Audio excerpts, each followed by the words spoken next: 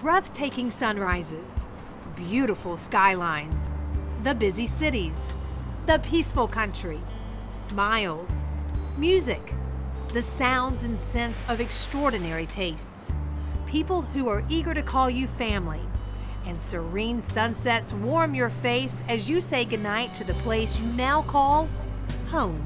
Hi, I'm Megan Heidelberg, host of Your Carolina, part of Carolina's family. I know, it can be a little overwhelming when you move to a new place. Where are you going to send the kids to school? What are they going to do after school? What about sports? Where are you going to go to dinner?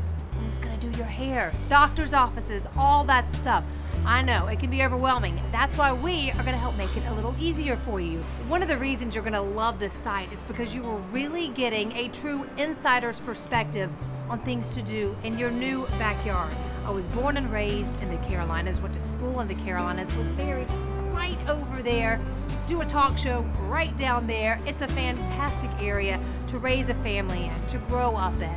I know all the fun things to do on the weekends, things to do in the afternoons. Kid friendly, adult friendly, pet friendly, you name it. This area has so much to offer, and this website is going to make sure you're getting the most out of your new home. So, again, welcome to the upstate. Welcome home.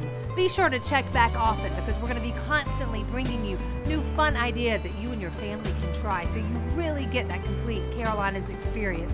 And hey, if you're from this area just like I am, another reason to check back because I'm going to be bringing you fun adventures, maybe some things that you forgot about or haven't tried yet. So check back often. We're excited. Hope you are too.